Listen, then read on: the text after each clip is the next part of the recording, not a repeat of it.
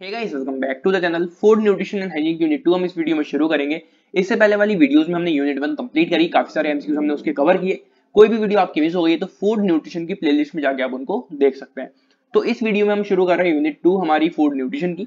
Topic wise यहाँ पर सारे एमसीक्यूज अरेंज है। सबसे पहला टॉपिक हमारा RDA sources functions deficiency and excess तो सबसे पहले आप ये जानो कि आरडीए होता क्या है। आरडीए बेसिकली एक ऐसा सिस्टम है जो हमें बताता है कि हमें डेली बेसिस पर कितना फ़ूड इंटेक करना है अपनी डेली न्यूट्रिएंट्स रिक्वायरमेंट को पूरा करने के लिए।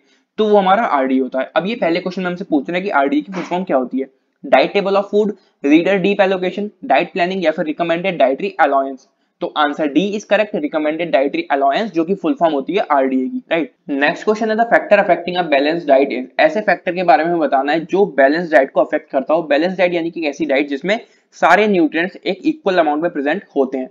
तो क्या वो फैक्टर हो सकता है? Health climate and weather activity या फिर डी ऑल ऑफ़ दीज तो answer D is correct all of these health climate weather activity ये सब चीज़ें अफेक्ट कर सकती हैं बैलेंस डाइट को तो इसलिए इसका आंसर है D all of these right next है what is the weight of man and woman in RDA तो मैन और वुमेन का क्या वेट होता है आरडीए में? Different more and less equal या फिर none of these so answer A is correct different क्योंकि जो मैन और वुमेन है, उन दोनों की डाइट बिल्कुल एक दूसरे से अलग होगी, इसलिए उनका वेट भी एक दूसरे से डिफरेंट होगा. राइट नेक्स्ट क्वेश्चन है in RDA who are included RDA मैंने आपको बताया कैसा सिस्टम जो हमें बताता है कि डेली बेसिस पर हमें कितना फ़ूड इंटेक करना है, अपनी डेली न्यूट्रिएंट रिक्वायरमेंट को पूरा करने के लिए.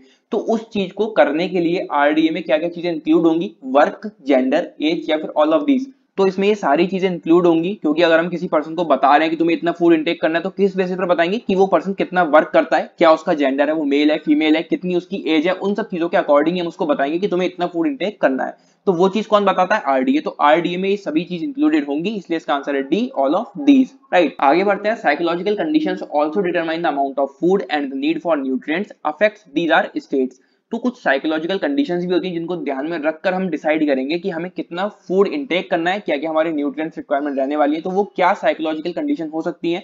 Pregnancy status after the operation lactation stage या फिर डी ऑल ऑफ़ दीज तो ये सारी ही वो कंडीशन है जो किसी पर्सन के साथ अगर होती है तो उसका जो अमाउंट ऑफ़ फ़ूड इंटेक है, वो चेंज होगा। उसकी जो न्यूट्रिएंट्स रिक्वायरमेंट है, वो चेंज होगी। कोई वुमन अगर प्रेग्नेंट है तो उसका जो फ़ूड इंटेक है, वो बिल्कुल अलग हो जाएगा। ऑपरेशन के बाद अगर कोई व्यक्ति अपने घर पर आया है, वापस हॉस्पिटल से घर पर आया है तो जो उसका फ़ूड होगा, वो बिल्कुल अलग होगा। लैक्टेशन स्टेज यानी कि हार्मोनल चेंजेस होते हैं, उसमें भी जो आपकी अमाउंट ऑफ़ फ़ूड इंटेक होगा, वो अलग होगा। तो ये सभी चीज़ें अफेक्ट करेंगी आपके फ़ूड इंटेक को। इसलिए इसका आंसर डी है all of these right next हमारा कार्बोहाइड्रेट से रिलेटेड यहाँ पर एमसीक्यूज आपको देखने को मिलेंगे। नंबर वन क्वेश्चन है which of the following is not a part of the organization of carbohydrate तो इनमें से कौन सी वो चीज़ है जो कार्बोहाइड्रेट्स का पार्ट नहीं है? ऑक्सीजन हाइड्रोजन नाइट्रोजन या फिर carbon so answer C is correct nitrogen जो कि कार्बोहाइड्रेट्स का पार्ट नहीं है। ठीक है? नेक्स्ट है special substance is found in the green leaves of plant एक स्पेशल सब्सटेंस होता है जो ग्रीन लीव्स में पाया जाता है प्लांट्स के।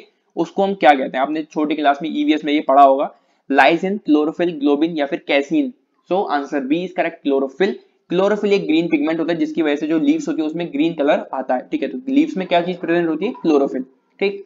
नेक्स्ट है starchy substance of carbohydrates is starchy substance यानी कि मेन सोर्स कार्बोहाइड्रेट का, इसमें से क्या है? बार्ली व्हीट मिलेट या फिर all of these so answer D is correct all of these ये सभी मेन सोर्स है कार्बोहाइड्रेट्स के राइट नेक्स्ट है स्टार्च इज़ आ जो ये स्टार्च होता है, ये क्या होता है? बैक्स पॉलीसेक्राइड डिसेक्राइड या फिर monosaccharide so answer B is correct polysaccharide ये होता है हमारा स्टार्च ठीक है?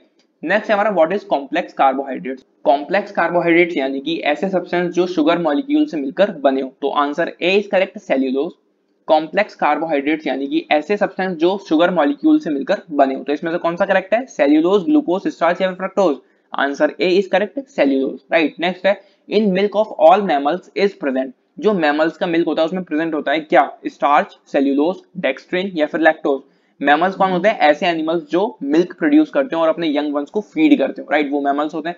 तो उनके मिल्क में क्या चीज़ प्रेजेंट होती है? Option D is correct lactose right next है, pectin is found in water, milk into rice, ripe fruits या फिर curd. So answer c is correct, ripe fruits, right? Next है the means of obtaining carbohydrates in the following are, इनमें से कौन सा means है जिससे हम कार्बोहाइड्रेट्स ऑप्टेन कर सकते हैं? जिमीकंद पोटैटो अरेबिक या फिर ऑल ऑफ़ दीज अरेबिक तो इसमें गलत ऑप्शन दे दिया, बिल्कुल अलग ही हो गया वो, ठीक है? जिमीकंद पोटैटो अरेबिक या फिर ऑल ऑफ़ दीज तो answer D is correct all of these जिमिकन से भी हमें कार्बोहाइड्रेट्स मिलते हैं पोटैटो से भी हमें कार्बोहाइड्रेट्स मिलते हैं, और ये जो सी ऑप्शन है हमें अरेबिक ये तो बिल्कुल गलत ऑप्शन है तो इससे कोई मतलब ही नहीं है, इसलिए इसका आंसर डी है all of these right what is the main function of carbohydrates carbohydrates का मेन फ़ंक्शन क्या होता है?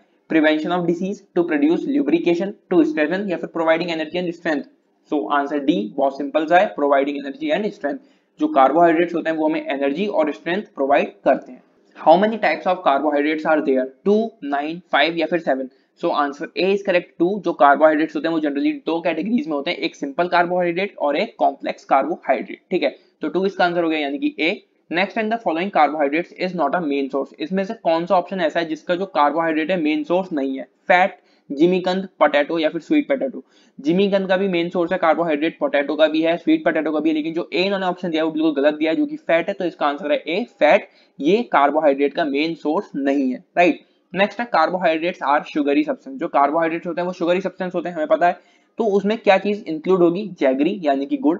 बी शुगर सी भी इन्होंने शुगर दे दिया या फिर डी ऑल ऑफ़ दीज तो जैगरी यानी कि गुड़ भी शुगर में आ गया। शुगर तो शुगर में आएगी, इसलिए इसका आंसर है D all of these right it is very important for the utilisation of fat अगर हमें फैट को यूटिलाइज करना है तो ये बहुत ज़्यादा इंपॉर्टेंट है। विटामिन कार्ब्स प्रोटीन या फिर fat so option B is correct carbs अगर हमें फैट को यूटिलाइज करना है तो हमें कार्ब्स की ज़रूरत पड़ेगी राइट right? नेक्स्ट है what happens due to lack of carbohydrates अभी हमने पीछे जाना कि कार्बोहाइड्रेट से हमें एनर्जी मिलती है, हमें स्ट्रेंथ मिलती है। अभी हमसे कह रहे हैं कि अगर कार्बोहाइड्रेट्स की कमी हो जाए, ठीक है तो उससे क्या होगा? Obesity fat is more there is energy या फिर डी वीकनेस आंसर बहुत सिंपल सा है डी वीकनेस हो जाएगी अगर कार्बोहाइड्रेट्स नहीं मिलेंगे तो ठीक? नेक्स्ट है simple sugar is simple sugar होती है ग्लूकोज लैक्टोज सक्रोज या फिर ऑल ऑफ़ दीज तो सिंपल शुगर बहुत अच्छे से इसको ध्यान में रखना क्वेश्चन इंपॉर्टेंट है। सिंपल शुगर होते हैं हमारा glucose right next digestion of carbs is quicker than what जो कार्ब्स का डाइजेशन है, वो क्विक यानी कि जल्दी हो जाता है, किसके कंपैरिजन में? फैट के कंपैरिजन में विटामिन प्रोटीन या फिर विटामिन ए के कंपैरिजन में। तो कार्ब्स का डाइजेशन फैट के कंपैरिजन में ज़्यादा जल्दी हो जाता है, इसलिए इसका आंसर है A fat right milk chickpea egg orange tomato etcetera are sources of ये सभी जितनी भी चीज़ें यहाँ लिखी है, ये सोर्स है किसका? विटामिन के का कार्ब्स का प्रोटीन्स विटामिन का या फिर फैट का? Answer B is correct carbs milk, chickpea, egg, orange, tomato, ये सभी सोर्स हैं किसके? कार्ब्स के right where are carbohydrates more stored carbohydrate सबसे ज़्यादा किस चीज़ में पाए जाते हैं? सीड्स में फ्रूट्स एंड फ्लावर्स में रूट्स में या फिर all of these answer simple सा इसका बी फ्रूट्स एंड फ्लावर्स अब रूट्स में और बीज में थोड़ी कार्बोहाइड्रेट्स होंगे। सिंपल सी चीज़ है। ऑल ऑफ़ दीज का हो नहीं सकता तो क्या बचा हमारा यहाँ पर? बी फ्रूट एंड फ्लावर्स ठीक? What is the amount of glucose in the blood blood में ग्लूकोज का कितना अमाउंट प्रेजेंट होता है? 70 two 90 ml 10 two 50 ml 80 two 90 ml या फिर 50 two 80 ml? So option A is correct 70 two 90 ml glucose present होता है ब्लड के अंदर ठीक है? नेक्स्ट है due to less amount of carbs what does the person did not receive अगर किसी पर्सन के अंदर कार्बोहाइड्रेट्स की कमी है या फिर कहें तो कार्ब्स की कमी है तो उस पर्सन को क्या चीज़ नहीं मिलेगी? कंफर्ट नहीं मिलेगा हैप्पीनेस नहीं मिलेगी एनर्जी नहीं मिलेगी या फिर प्रोटीन नहीं मिलेगा। सो so, बहुत सिंपल इसका आंसर है बताओ।